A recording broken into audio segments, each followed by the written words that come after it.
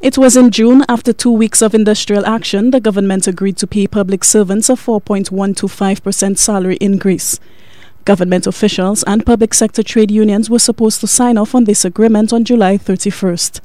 But CSA officials say they were informed by government that the deadline was not attainable, but the agreement will be signed at the soonest.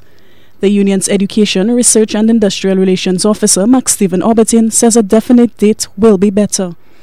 What it means by the earliest, we don't know at the present moment. We are hoping that the earliest means earliest in the true sense of the word, and that agreement can be signed sometime in August. Aubertin says CSA officials are concerned about a new development in the industrial agreement between the government and the unions. It involves the appointment of a subcommittee to review the terms already agreed upon by both sides. He says this is particularly disturbing. And you negotiate with a team which has a mandate, then you expect that when you agree at the table, that agreement will stand.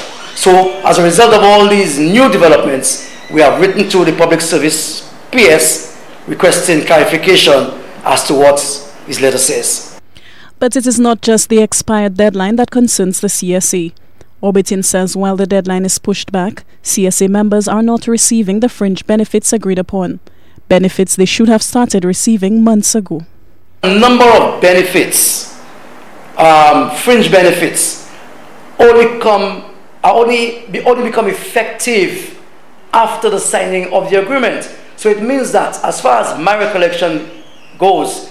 Our last meeting discussing fringe benefits was in January of 2009. So it, so, so it means in effect that if the, the, agreement was signed, let's say in February, all the fringe benefits would have been become effective in February. But it means now they are not effective in July. We are already in August. So obviously that affects our membership.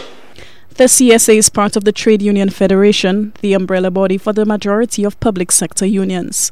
The TUF's president, Julian Monroe, says the executive will meet on Monday to discuss the way forward. Aubertin says the CSA will go on without the federation for now, as only salaries were negotiated collectively. Alison Kentish, HTS News, Channel 4.